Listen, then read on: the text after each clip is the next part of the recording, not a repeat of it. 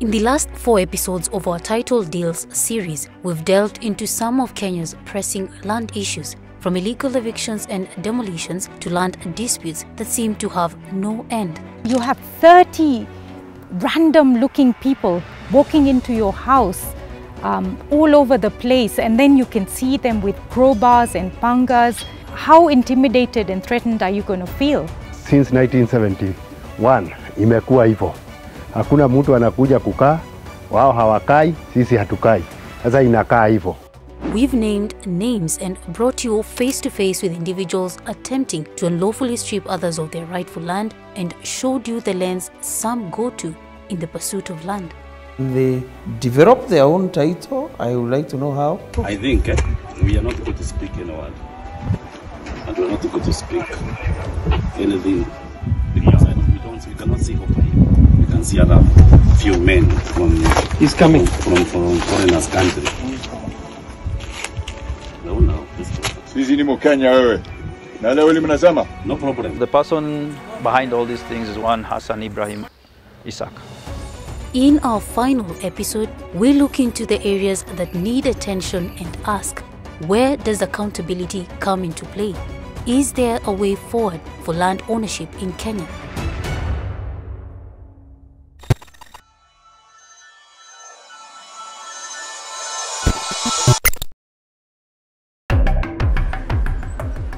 It's a commonly held belief that corruption starts at the top and trickles down. In Kenya, this systemic issue has entrenched origins that run deep. According to the Lancaster House agreements, the land was supposed to be bought from the white settlers. And the Kenya government in 1964 1965, through the British Ministry of Overseas Development, advanced the loans to the Kenya government to be able to buy the land from the white settlers. A lot of land was bought, but I'm saying that um, that land did not actually go to the poor people. It went to people who are in the new Kenyan civil service. So the dispensation was that um, black people would get land, but that is not what happened because the people on the ground did not actually, uh, the, the ones who mattered, the ones who had the need, are not the ones who are served by that kind of system. The relationship between land matters and corruption, evidently influenced by the first Kenyan government, prompts us to not only scrutinize the historical roots of these injustices, but also to question why they continue today. tunyoni twĩhithahithe o nawe na wonwo ona kuma tuma tuma hamwe tũkĩrĩa when you are doing it together we are together and when we are doing the wrong things we are together but um, I, if you are found it means you are doing it badly you should not do it badly when you are clever person just make sure that you eat when you are quiet.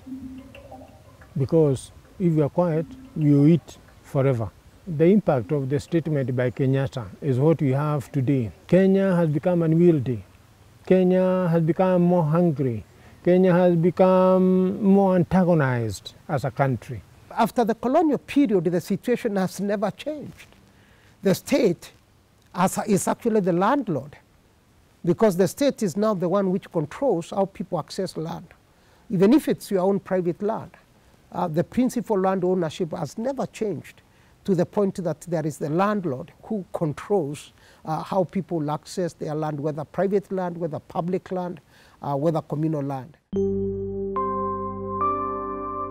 It's sad that the people who have done this go home, they look at their children, they look at their wives, and they live a life of normality and think that it's okay to steal from someone else. The future doesn't really look very bright. It doesn't look very bright until something in the lands office is sorted out. Because how, are, how is anyone else going to invest in anything? Any Kenyan looks at a piece of little land where you want to retire or something that you can just save up to buy or that. But then this way, what's the point of spending your life just trying to fight for what already belongs to you? Why should this injustice be in continuity in our nation Why should this be done in our nation? Lads, people are being, their lands are being taken, houses are being taken. Why would that lawlessness continue? Why are they not protecting us? That is what I expect. I expect protection and I expect security. I expect that when I'm in need of the, our leaders, they are available. If I am, I am in need of help from the authority, authority would be coming to help me. And that is the work we elected them to do, to keep our constitution. But is it being kept? It is not being kept. I'm not discouraged by the government. I'm discouraged by the individuals who sit in different positions of influence. It is really a sad, sad state of affairs that in this year, 2023, we are still talking about land grabbing in Kenya. I can imagine if for us it's difficult right now. What about in the next generation? You're talking about a claim to owning land.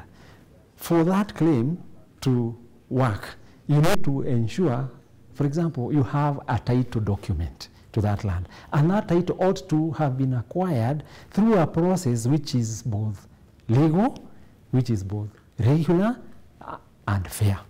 You cannot claim to have a right because you have a title when the process through which that title you know, was obtained was not legal, was not regular, was not fair. We are having a situation where people have illegally occupied, whether it is public land, community land, or private land, and nothing has been done to them. They continue to occupy those spaces. People have illegally um, en enforced the eviction of people from their own land, which they rightfully own, uh, but then nothing happens. There's no accountability, there's no action, there's no justice that is seen for people who have been affected, you know, by land grabbing. And because of that, you, we give the, the, the land grabbers, you know, the courage, you know, the audacity to continue to perpetrate such actions. Having explored various cases, it's clear that the fight for land in Kenya goes beyond legal disputes. It signifies a challenge to a deeply ingrained system, a battle against an existing status quo that appears to perpetuate not only the loss of land, but also the loss of dreams, homes, and ownership rights. The 2010 Constitution, in fact, there's a huge uh, chapter relating to land matters, you know, which governs the public interest and also the private interest in land. And it was very deliberate because of the history we've had on uh, land disputes. But uh, in the implementation of the Constitution, we see that the disputes are still there to a large extent. And uh, in my view, it is not that the Constitution is not elaborate enough. It is because the implementers are not playing their role correctly. Macharia Njeru is the current Vice Chair of the Judicial Service Commission, where he deputizes the Chief Justice and serves as a commissioner. The biggest failure actually emanates from Land Office officials and the National Land Commission. Because these are the people who you'd say are the repository of the records. They are the people who are supposed to ensure the sanctity of the titles is uh, respected and protected, so to speak.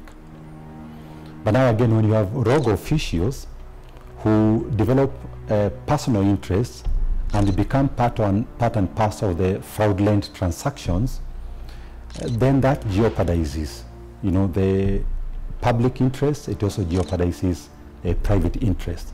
I have seen situations whereby two or three or four people are claiming ownership of the land and they all have titles. And when you look at these titles, they've been signed by lands officials. Th that's not possible because it is possible to go back to the history of a land, uh, any subject land, by just you know digging into the survey records, the correspondence file in lands office. So it's not possible. It can only be fraud. The presence of conflicting land claims, often backed by seemingly valid titles and official approvals from the Ministry of Lands, give rise to concerns regarding the integrity of land documentation processes in Kenya. Uh, one of the biggest challenges that, that we have had is that uh, the issue about the manual records. because you understand from when you keep manual things in, in uh, manually, it, relies really in terms of your memory, it relies really on whether you're updating those records and so on and so forth. And um, it, it so happens that even when somebody wants to do some due diligence on a piece of land, uh, if that information is not properly stored, uh, then it becomes a bit of a challenge. We cannot say that 100% joy that there are no documents that find our, their way into our registry because uh, when you work in manual records, it is easier to lose and to have those kind of documents. That's why we have uh, rigorously engaged on the issue of digitization so that we move from the manual records to the digital records because the beauty in this is that uh, when you already digitize your record, anytime somebody is going to log in even to change a record, there will be a, thing, a footprint left in that system. It will tell you who came in, Nyandoro came in this time, it did one, two, three. But in a manual system, sometimes it's difficult to say who moved that file, who removed. Sometimes you get those kind of complications.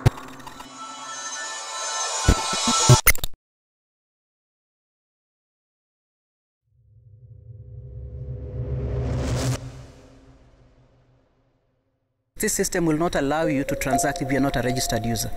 So the first thing you do when you get on the platform is to register. How long has this taken to put together?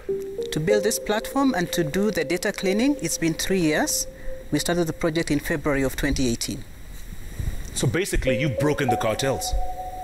You're breaking them, or you've broken them. We intend to. That, that's tough. Because with this system, yeah. you don't need a middleman. Ardhisasa is a national digital land information management system developed by the Ministry of Lands. It was officially launched on 27th April 2021. You see now, as you zoom close, it will even tell you the street, it will tell you so that you will know the land we are looking for. You see where it is coming. So you will easily know this land haiko kwa barabara, haiko kwa forest, haiko kwa river, mutoni wapi. You are able to see and be able to see yes, land ile nilikuwa ninanunua ama ninadiri nayo iko mahali fulani. This platform is said to have the capacity to provide Kenyans with access to credible, reliable, and efficient land and land based services. A decision aimed at curbing corruption and enhancing the security of land records in Kenya. The beauty uh, about this system is that for the first time, we were able to relate the land with the ground. Currently, we have done digitization in Nairobi, and you could see that the records from all the departments were talking. If you check a parcel, that parcel does not exist in a vacuum. It must be where it is situated on the ground. So that location was being captured into the system. Now with the cadastre, it gives you to the specific precision of where that parcel is on the ground. And I'll tell you this, this for me is uh, what will cure our land issues. Uh, we have registered, uh, you will be shocked, over 21,000 users in the country. And we have also registered foreigners. In terms of services, we have almost all our services on the platform, and this will go on. We are done in Nairobi. His Excellency is very specific that before the end of his term, we must have covered the whole of Kenya. Ardhisasa is believed to have the potential to revolutionize land transactions in Kenya, making them more secure, efficient, and accessible to everyone. However, the platform's success hinges on a couple of factors. Among them is its effective implementation and the government's ability to tackle challenges and limitations within the system. What you get, you give the system is what it will give you. You, you do not expect the system ikuambie kitu umenipea ni mbaya. So we had to check our, as I told you about the departments, if it is a parcel, we had to check it across all the departments. Was there a plan for this property? Was it surveyed? Was there maybe a allotment? Then the title was issued. Who was issued the title? All this information, we were making sure they speak to each other. You go to the lands ministry, you get to search the property, and you know this land belongs to so and so. You have the confidence because it's the government prescribed way of verification. So you can imagine how frustrating it is. Once you've gone through it, then somebody from somewhere comes and say, wait a minute. No, this is my property. I got confirmation from the Ardhisasa side, the, the one that does digital records. And even we did a search of our own land. And it showed that the land actually belongs to Everready Security Guards Company Limited.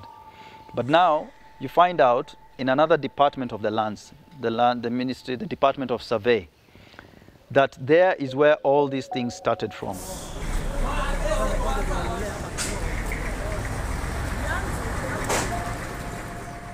How can you have an, of, an official of the Ministry of Land, uh, a registrar of lands, writing a letter saying that the land actually belongs to us, and then one week later or two weeks later comes up with another letter saying that the land belongs to somebody else?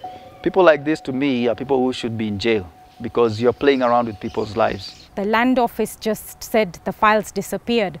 How does a file that is in your custody get legs and walk out of the offices. Anyone who is responsible, there has to be a custodian of the file. You know, we give all this in good faith. When they change the names from uh, my father-in-law's name to these two uh, individuals' names, it has to be a person who's actually put it. And whilst I was uh, at the county, they, they mentioned that there are 60 files missing. Does that mean there are 60 more people waiting for the same fate? you know it's not good for you to come to government who are the custodian of that information, who you have entrusted to keep your information, then they tell you, sorry, we can't get your information. Sorry, we don't know where the information went. Uh, I, I think this is what we want to run away because in the manual space, it is easier to have that done. These are some of the things that we were building on so that if something is found in that system and we realize the information is bad, then we don't need to be guessing. We will just ask Kichoi, tell us how this information landed to your desk and you placed it into the system. Tell us whether you verified. You know now we will be dealing with a specific person. And I think because of this now, even our officers know that the stakes are high. The ethical conduct of key professionals such as government officials, lawyers, surveyors and others entrusted with upholding the land administration system is paramount for the integrity of land ownership rights in Kenya. Nevertheless, their engagement in impunity not only compromises their responsibilities but also erodes the foundations of a fair and just land management system. One of the things that we have been pushing for across the public sector is the ethical leadership, you know, as per Chapter 6 of the Constitution, that selection or election to public office should be on the basis of personal integrity. That's well articulated in Article 73 2b of our Constitution under Chapter 6. Um, but that's not happening. We really need to drive for people who are ethical and demonstrate other values as articulated in Article 10 of our Constitution, Article 10 on national values and principles or principles of governance, accountability, good governance, uh, transparency, patriotism. You know, those are things that are really, really important uh, that should drive anyone who's seated in public office. Uh, besides just getting people who have a track record of integrity, I think a good cure is building transparency. And that's what the blockchain technology really um, has been applied in many countries is all, all about. Where if you own a piece of land and you sell it to me, that information is replicated in all the databases. Blockchain makes sure that that transaction, when it's done, the banks that have databases, the Ministry of Lands, the government that has data, all those databases are notified and updated. People only think of blockchain in terms of Bitcoin and such, but I think the most, uh, probably one of the best uses of blockchain should be in the real estate industry. Not just for uh, administration perspectives, but even it allows the processes, the commercial process to go much faster. As efforts to implement digital solutions such as Ardhisasa progress, doubts about the reliability of land records continue. However, in the broader context of safeguarding tenure security and land ownership rights in Kenya, the ministry is just one piece of the puzzle. The challenges faced by landowners extend beyond a single institution. Policemen in Kenya have been bought and they have been corrupt, such that they are just like uh, machines that are told, go and do that, and they do. Because when you come to a place like a premises, you have a brain to reason. Why can't you look at a case and say, ah, let's go back. Let's go back and visit this thing before we implement it. Askari walikuwa wanatumwa usiku, wanakuja wanabomoa nyumba zetu eh, bila oda, bila court order, na wa- wakitushika wanatupeleka kotini Nyahururu kama mara ishirini bila sababu. Sikuwa nalala kwa shamba, nilikuwa nalala kwa msito chini, nilikuwa nalala kwa miti, na usiku hiyo kila siku walikuwa wanakuja wanavamia nyumba, wanaharibu, wanachukua wengine, wanawapeleka Nyahururu. Hakuna kesi ilikuwa inaendelea. On the day when we called police from three different police stations from Parkland, Spring Valley, and Gigiri, not one police responded. Police only comes in on the, on the issue of land when there's element of criminality. That's the only time we, we normally chip in. If there are no element of criminality, then we normally leave it to the entities that are mandated to deal with the issue of land. However, there are some instances where when we found the conflicts of a particular land might jeopardize the peace of the area or the order, where the, the law can be jeopardized or, or the, the, the peace can be disturbed. Those are instances when we can come in. Led by figures like Omar, the police play a critical role in upholding law and order. Yet, Macharia's oversight reveals a more troubling aspect the collaboration between some police officers and fraudsters. The kind of expertise that the CID have would easily be able to resolve the issues of uh, investigations to the extent that uh, if there's a dispute by two, three people over who is the rightful owner, they can do a forensic analysis that goes back to determining even the history of the land and indicate who is the rightful owner and provide that evidence. So that, evidence can ensure that firstly, the culprit is prosecuted. When fraudsters consistently engage in fraud and know and there are no consequences, they become emboldened. They become emboldened. That's why you find that uh, you find some characters who are known. They are known by the police. And these fraudsters consistently find that the same people, even when it comes to the land litigation in court, you'll see the same, same names. So the CID know them. But why does that happen? Because some of the CID officials have also become part of that cartel. They help these fraudsters. And even sometimes when they know that they, they tamper with the correct evidence, the correct information that is supposed to be used to assist the courts or even the rightful owners to get their land when, when they are being dispossessed. We have these people who run around masquerading. We know the, some of them, again, the problem, Joy, you know, they are people who have money. Uh, and unfortunately, that is the problem which makes things complicated in this. Uh, you might even get to certain extent, extent an officer want to take an action, then you will get calls, threats.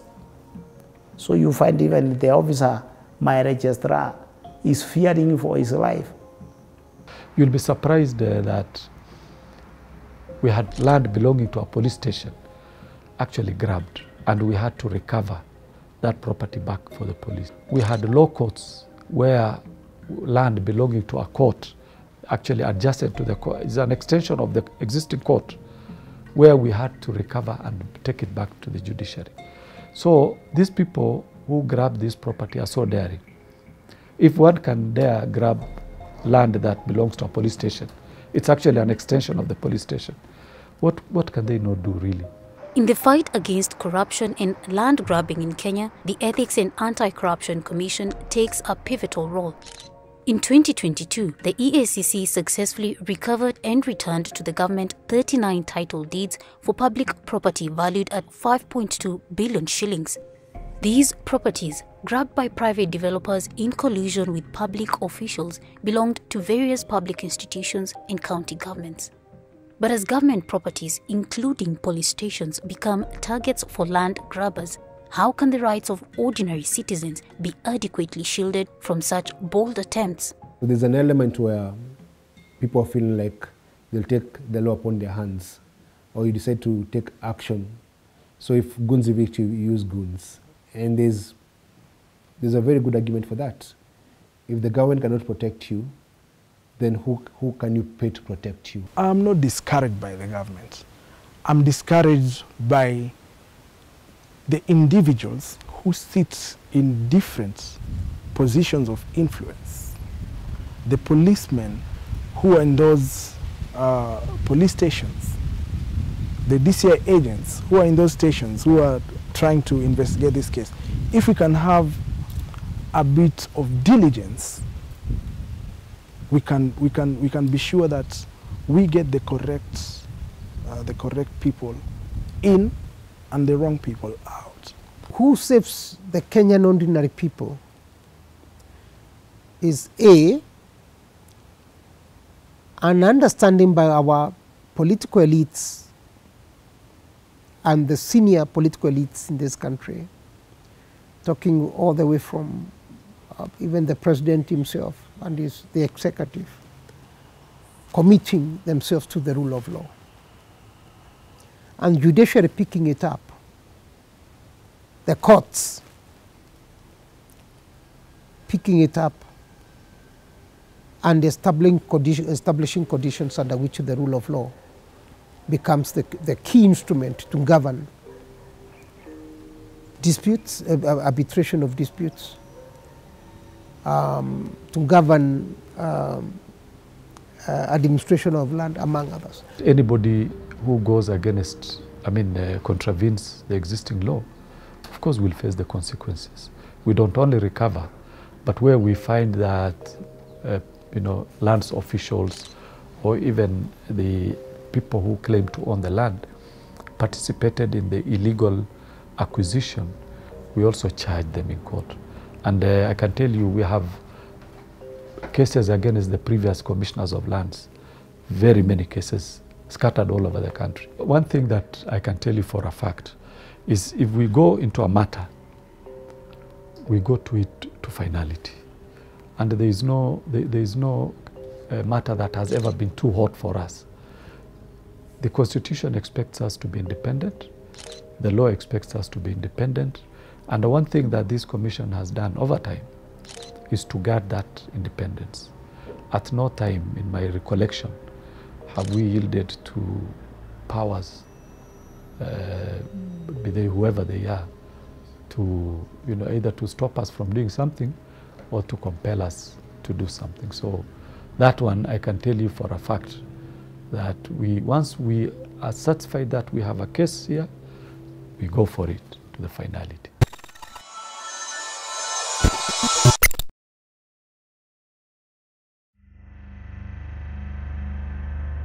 The journey in pursuit of justice is often marked by a gradual progression through the legal system known for its notably slow pace. Nevertheless, for many, this endeavor proves to be an enduring trial, draining them of both hope and will. Something that needs to be changed in Kenya is how long our court cases last. You know, you can't be going on year after year, just going through the same old court cases. You know, one side puts in all these delaying tactics, and then by the time you get a court hearing, it's six weeks, two months, three months. I mean, come on. There are magistrates and judges who postpone cases intentionally. Because I wonder, like our case, these guys went to court and in three weeks were given. We go to court, we are told that the judge cannot hear our case for now, he postpones it for four months. The next time we go to court, the judge is not available. Another judge comes in. You see, at the end of the day, in as much as a lot of times people blame the judiciary and the accusations are leveled against them, remember, as I said, it is the failure by these other two institutions that lead to litigation. If was cleanup of the records, and of course the people themselves in the lands office, and also the land fraud unit within the CID, they are to do the right thing, those two institutions can ensure that the sanctity of the title is protected without even people having to go to court. Because it is the failure of these two areas that lead now to people seeking justice from the courts. Natural for us, of course, to expect justice and also to expect that uh, if you buy land, your land will not be taken away.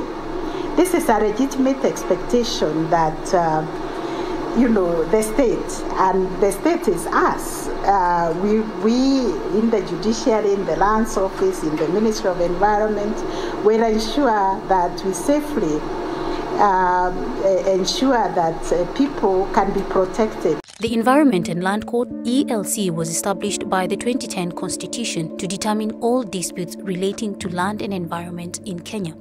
Prior to its establishment, these disputes fell under the jurisdiction of either the High Court or the Land Dispute Tribunal. While the ELC initially brought confidence in resolving land issues, a decade later, challenges, particularly delays, continue to impact its effectiveness. It took them four days to demolish my house. And is it going to take me four years or 40 years to get justice? No, that it, it can't work like that. I can say this without fear of contradiction because we won the case the first allowed and they were barred from ever entering to the land. But up to date, they have their guns in our matrimonial home where they don't allow us to go and continue doing farming and so that we can enjoy the whole land. I've uh, gone from one office to the other to show that, but most of them they say that their hearts are tied. So I feel very bad when uh, the first generation, second, third and fourth, they will always sink more to poverty, to destitute, because some rights have taken that as they are untouchable. I don't remember a time in the history of this country that there has been such proactive approach than now. Because what has happened is that uh, there's a huge increase in the number of uh, environment and land court judges. There has been recruitment, a massive recruitment of these judges, uh, to an extent whereby almost every now county, uh, almost not all, but almost all of them, have an environment and land court judge. This is primarily to address the issue you've raised about uh, delay in concluding matters because um, um, the vision of the Chief Justice, which is on uh, social transformation through access to justice, is to ensure that everybody can access justice, but also in an expedient way, to expedite matters, uh, without, of course, compromising uh, the quality. Despite the commitment expressed by Macharia, our investigations have revealed concerns related to the judiciary. These include allegations of corruption, instances of incompetence, and the issuance of court orders that don't adhere to due process, among other issues hindering the access to justice. Being the judge who is supposed to adjudicate between two sides that are fighting over something was is the first person that I blame himself because we were not served even to appear in court. Nobody came and said, here's your summons to appear in court. So nobody even went to say anything on our side. So he made a one-sided decision that he should not have made. The cartels have discovered they know how to shop for the particular ju judge or magistrate to get a court order from. And there's even cases where a court clerk signs a court order and you get evicted. And the cartels move very, very fast. So they go, they evict you, and then when they evict you and the fence, they go back to court and actually apply for status quo. Status quo means who is actually occupying the land. So already, already the land grabber is occupying your land. And they're, and they're known people actually. Even the judges who do these things and magistrates actually known. Having considered all the evidence and following the tribunal's findings that allegations 1, 2, 3, 4, 5, and 6 have been proved, we unanimously find that the judge's conduct was in breach of the Judicial Service Code of Conduct and Ethics regulations. On 7th February 2023, President William Ruto received the findings of a tribunal led by Lady Justice Mumbi Ngugi investigating the conduct of suspended High Court Judge Said Juma Chitembwe. He was suspended in 2022 by the former President Uhuru Kenyatta over gross misconduct. This included obtaining a vested interest in a land involving a case he was presiding over in Malindi. The tribunal revealed Chitembwe's improper behavior in the impeachment case against then Governor Mike Sonko involving financial transactions where the judge sought his share in dollars and dirhams. The extensive report also included serious allegations of bribery against two unnamed judges in Mombasa, Malindi, and Nairobi.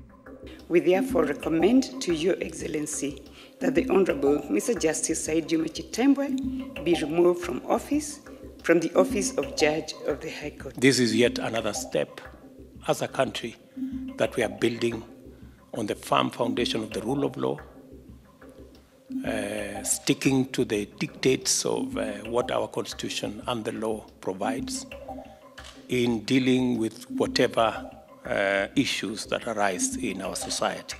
Your presentation of this uh, report, I think, brings to the end your responsibility, and uh, myself and others will take it up from there and also discharge our responsibility accordingly.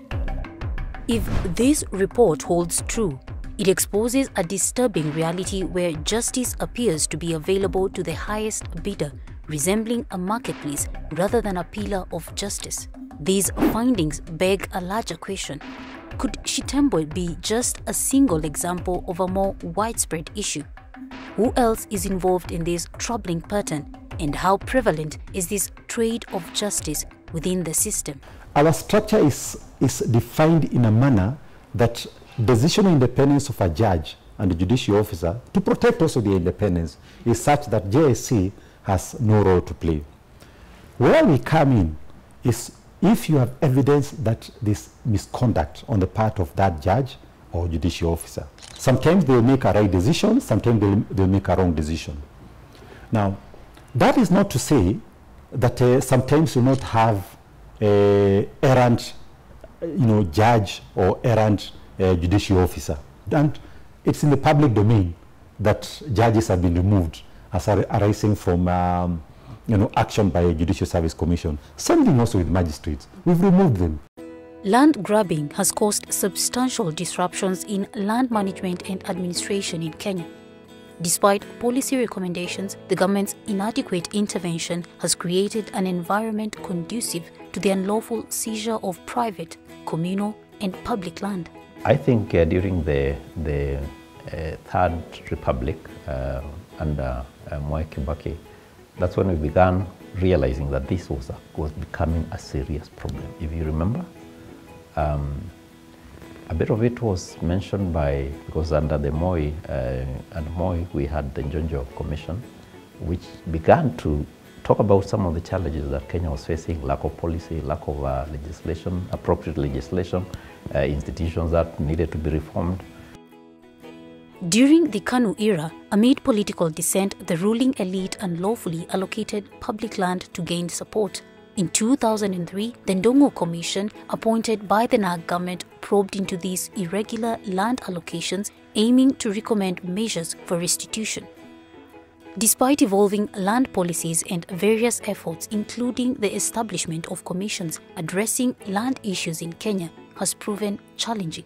The report on the Ndung'u Commission, I would say that in terms of implementation, I think a lot of that has been done.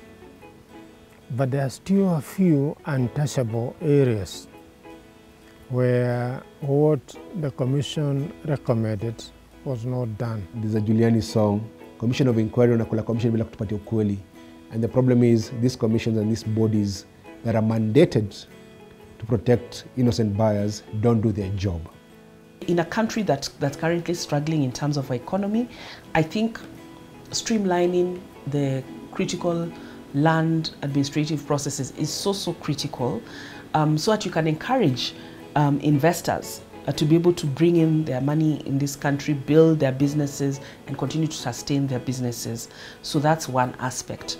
If we don't do that, then that will affect the level of development in this country. If you look at uh, how wealth has been created in this country, uh, much of it has been tied to land ownership, especially in the urban and the peri-urban areas, where land appreciation, when opportunities are created, when corridors of corruption are opened, uh, most likely they're going to target land. It's simple, it's quick, it does not require education and certificates. Addressing the land question is like committing political suicide for the future. You commit suicide knowing very well that, of course, it's going to give birth to a new and a better uh, uh, uh, society. And by political suicide, here to say you are going to hurt many powerful individuals. because it means um, hurting even yourself if you are a political leader in this country because you'll be certainly associated with the question of political power. If any arm of government, including the hallowed judiciary, go beyond the law, go beyond the constitution, there is a mechanism for necessary corrective measures that can be done. For us to be a country built on the firm foundation of the rule of law, we must always keep to that narrow path of the rule of law and avoid extra constitutional, extra legal means of dealing with one another. The scars of past injustices are present marred by corruption and a lack of accountability significantly hinder the prospect of attaining a fair and equitable resolution. Today, the future of land ownership in Kenya hangs in the balance, and the call for reform echoes not just in courtrooms, but in the collective conscience of a nation grappling with the shadows of its past and the pressing need for a just and equitable future. If it, this system continues the way it is going, uh, I see, I foresee two things happening in our land. One, I see God intervene. That is the first hope, God intervening. And if God does not intervene, we are going to have rebellion in this country. Because people will reach somewhere they cannot take it anymore. Where the property rights system is broken, then you have anarchy. Um, where you have anarchy, then it means that you cannot have a country.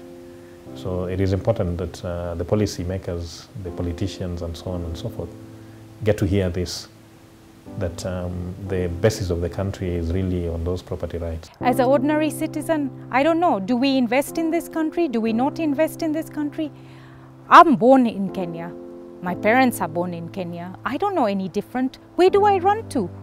Deep down inside myself, I count myself as Kenyan. But yet, this is the country that still didn't support me.